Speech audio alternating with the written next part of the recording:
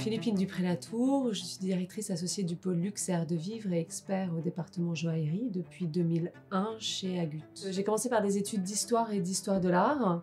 Et assez naturellement, j'ai rejoint l'entreprise familiale au début des années 2000. Très rapidement, je me suis orientée vers le département joaillerie. Donc, je me suis formée en gémologie, euh, au fur et à mesure du développement du département euh, que je dirige toujours euh, aujourd'hui, qui a grandi avec moi et avec la maison. C'est une chance de travailler en famille parce qu'il y a une confiance et une implication qui peut être difficile de retrouver autre part. Mon métier au quotidien consiste en, dans un premier temps, conseiller un vendeur sur sa démarche de mise en vente d'un bijou. Vendre des bijoux, c'est souvent ce qui est le plus difficile pour quelqu'un qui les a reçus. Il y a une valeur sentimentale, mais pas forcément euh, euh, chiffrée par rapport à l'expertise.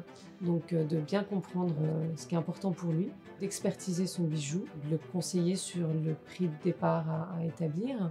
Et puis après, voilà, de travailler, de faire des recherches plus approfondies sur le bijou, son origine, pour le mettre en avant, préparer la vente, avec le catalogue, de solliciter, de réfléchir quels vont être les acheteurs plus intéressés pour ce type de pièces, pour les contacter et en faire la publicité, et puis euh, le moment final d'orchestrer la vente aux enchères. Donc ce qui me fait vibrer dans mon travail, ça va être le début de l'histoire, euh, donc euh, la découverte de l'objet, son expertise et le premier rendez-vous avec le client. Euh, donc le premier mot qui me viendrait pour décrire mon métier, ce serait chasseur de trésors, parce que on ne sait jamais à l'avance si on va trouver quelque chose et ce que l'on va trouver. Quand on commence un rendez-vous, quand on commence une journée d'expertise, quand le client commence à sortir de son sac ce qu'il veut nous présenter.